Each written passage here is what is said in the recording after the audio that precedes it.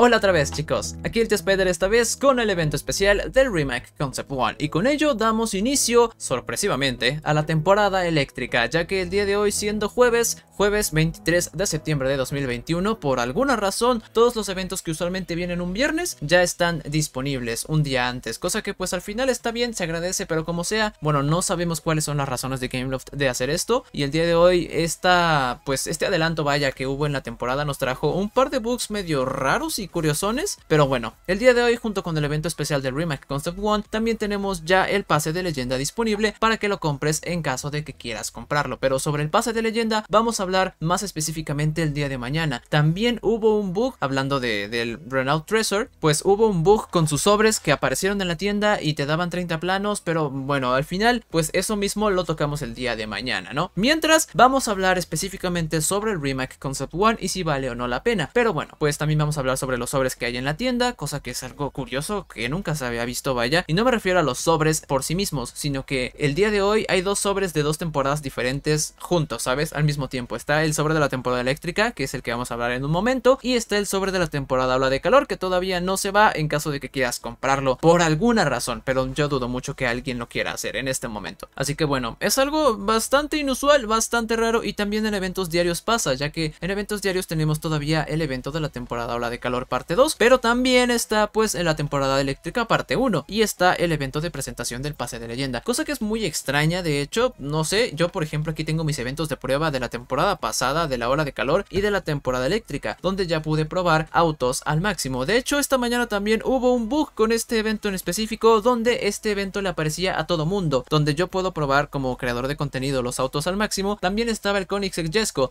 y de hecho como recordarán algunos de ustedes, usualmente aquí aparece 999.999 créditos que se ganan con el, con el Jesco vaya, pero como nunca aparece el Jesco en este evento, pues nunca se los gana nadie. Entonces resulta que esta mañana sí apareció el Jesco y no solamente para los creadores, sino para todo mundo en general. Y hubo gente que se ganó ese millón de créditos así de gratis, simplemente en dos minutos. Y al final redujeron la recompensa de 999.000 hasta 1. Entonces, bueno, gracias Bugs que no pude aprovechar. Pero en fin, el chiste es que esta mañana hubo un montón de cosas raras y al final supongo que lo estarán haciendo para apresurar un poco sus eventos porque supongo que tendrán muchos eventos que, hacer esta temporada. Digo ya tenemos confirmación de que va a haber un evento especial o bueno no sé qué tipo de, evento vaya pero va a haber un evento para el McLaren Cena de Lego que si ustedes se van al garaje en modo historia pues también ya aparece. Muchos de ustedes ya se habían dado cuenta muchos otros quizá no pero yo también ya lo sabía. Simplemente son detalles curiosos que no había tenido tiempo de mencionar o oportunidad para mencionar pero espera un segundo no tendría que estar por acá. Bueno, aparece por acá, aparecía ayer aparecía. Pero bueno, el chiste es que ahí estaba el McLaren Senna de Lego y según las notas que hay en la Google Play Store aparecerá esta temporada. Pero en fin, todavía no acaban de es multijugador, así que todavía tienen oportunidad de sacar créditos si es que eso les interesa. Pero como sea, el día de hoy vamos a hablar sobre el Remake Concept One y si vale o no la pena en general y qué tal está el evento, ¿no? También tenemos la casa de coches del Porsche, pero pues de eso hablamos en otro video. Como sea, en este momento toca hablar sobre el Remake Concept One y de hecho nunca habíamos visto su decal, bueno, hasta este momento no habíamos tenido oportunidad de ver la decal del mismo y a mí se me hace personalmente bastante bonita. Me gusta lo que hicieron con esta decal. Digo, no es mi favorita.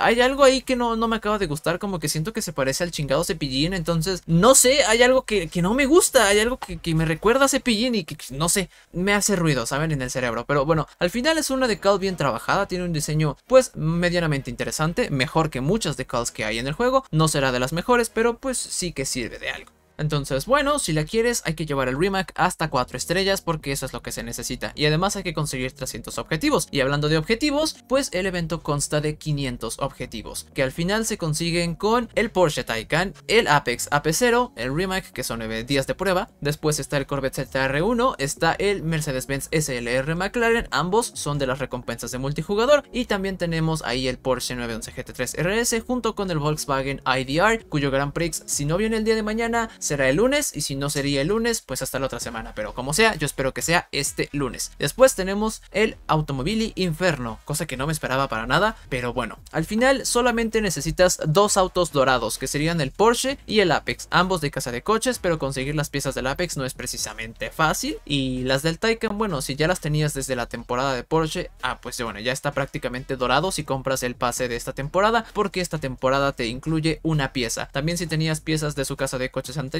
pues ahí está, ya tienes resuelto este día. Después, el CTR1 y el SLR McLaren necesitas tres piezas o cuatro piezas para cada uno, igual que del Porsche 911 GT3. Bueno, estos dos pues son relativamente más fáciles de conseguir, pero el, yo sé que el Corvette no siempre sale en recompensas. Digo, el SLR McLaren muy seguramente que ya lo tienes al máximo si juegas mucho multijugador, porque tampoco es tan complicado de, de conseguir. Las piezas son otra historia. Hay que farmear mucho en multijugador para conseguirlas, pero es pues relativamente si lo comparamos con conseguir épicas del 911 GT3 RS. Después, el Inferno y el IDR no requieren piezas épicas, simplemente están ahí, son a máximas estrellas, así que si los tienes, pues también ya ahí tienes recompensas aseguradas, que al final tampoco son tantas, la verdad, digo, por ejemplo, por el automóvil Inferno son 125 fichas, pues es una porquería, 8 planos, una pieza de, del Rimac, bueno, la verdad es que no es gran cosa, para tener un auto de, de clase S a 6 estrellas, pues bueno, creo que te están recompensando con muy poca cosa. Pero al final, pues bueno, aquí lo que realmente importa es saber si el Rimac vale o no la pena. Digo, al final los autos no todos son tan complicados de conseguir y también tenemos un sobre en la tienda que como ya habíamos dicho, pues de momento está encimado con el de la temporada anterior, pero pues al final no sé, yo creo que no vale tanto la pena porque, otra vez, el SLR McLaren es de multijugador, el ZR1 a lo mejor es lo más raro de encontrar después del 911 GT3 RS que, está aquí también, y el Apex tiene su casa de coches, entonces, bueno, quizás solamente el 911 GT3 RS es lo que más vale la pena de aquí, fuera de eso, el Apex es bueno, pero puedes esperar su casa de coches sin ningún problema, el SLR y el ZR1 otra vez son de multijugador, entonces,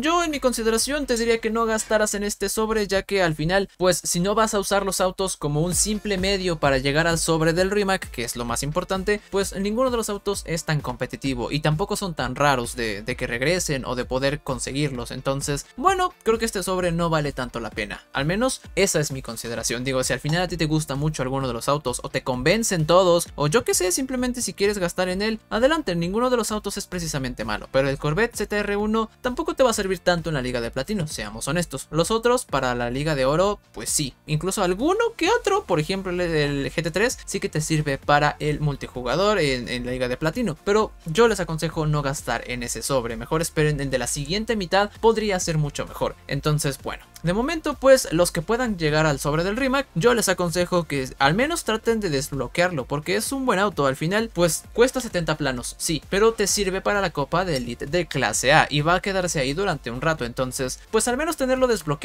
te puede costar unas 10, 12 mil fichas a lo mucho si tienes muy mala suerte. Pero yo creo que vale muchísimo la pena, la verdad. Creo que es una buena inversión. Y si estás pensando en llevarlo a 4 estrellas para conseguirte la decal o más estrellas para pues tenerlo porque sí, tampoco es una mala idea porque como ya ven sus estadísticas son muy buenas y a la hora de conducirlo también se siente bastante suave, bastante fácil y además esa aceleración alta sí que se nota y se nota bastante. De hecho diría que la aceleración alta le sirve para compensar un poquito la falta de nitro porque a veces basta con que uses el nitro naranja en lugar de la shockwave o el nitro azul o nitro amarillo en lugar del nitro naranja como haría falta con algunos otros autos. Digo depende mucho de las situaciones pero en general si puedes usar ese nitro de forma, de forma eficiente nunca te va a hacer falta, sobre todo porque como les digo, la aceleración ya es bastante buena. Entonces, ¿este es un buen auto para multijugador? Sí, dentro de lo que es clase A, creo que sirve bastante porque esa velocidad incluso es más alta que, la de muchos clase A, pero se queda abajo del el Pagani Mola y se queda abajo del Valhalla como ya habíamos dicho. Entonces, mejor que el Tech Rules, sí es. Así que yo creo que sí merece ese tercer lugar dentro de la tabla de clase A y al final te va a servir bastante. Pero más allá de decir que sirve para multijugador, la verdad es que tampoco es la mejor opción para gastar tus fichas. Ciertamente, si estás buscando un rey de clase, pues mejor el Imola, mejor el Valhalla. Como siempre les digo, pues hay que gastarlas de forma inteligente y ya que cuestan 900 muy seguramente, pues 900 fichas cada paquete, entonces es mejor optimizar esos recursos.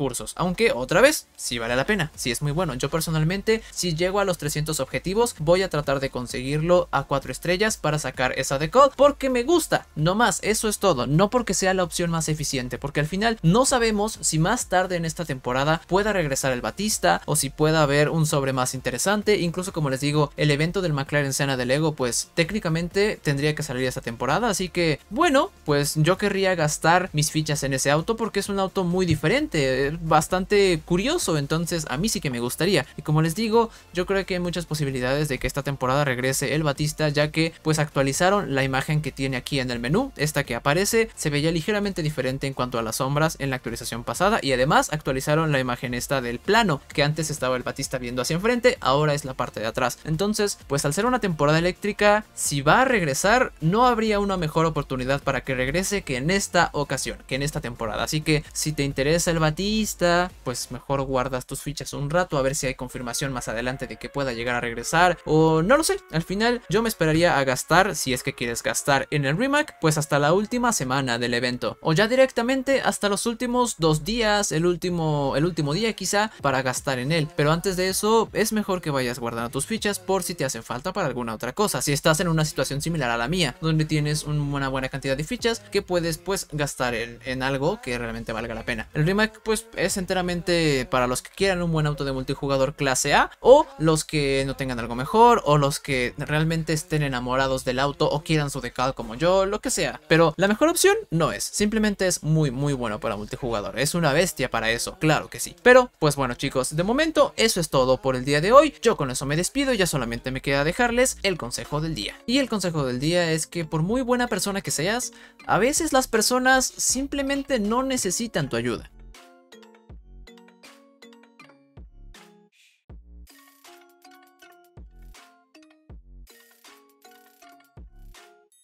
Simplemente pregunta si hace falta tu ayuda y si no, mejor no estorbes porque te podrías gastar un dinero que no tienes pagando el vidrio de alguien más. Así que como sea chicos, eso es todo por ahora y nos estamos viendo entonces en el siguiente video.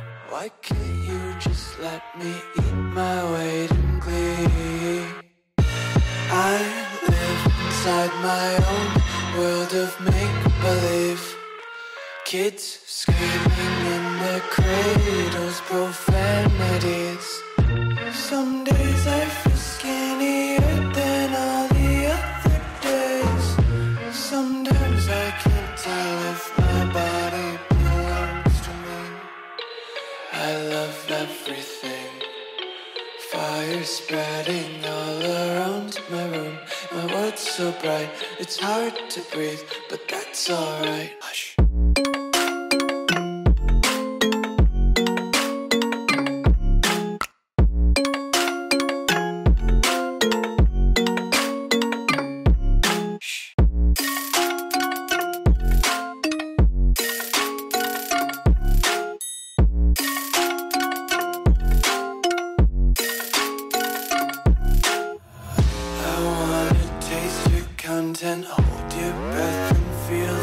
the tension Devils hide behind redemption. Honesty is a one-way gate to hell. I wanna taste consumption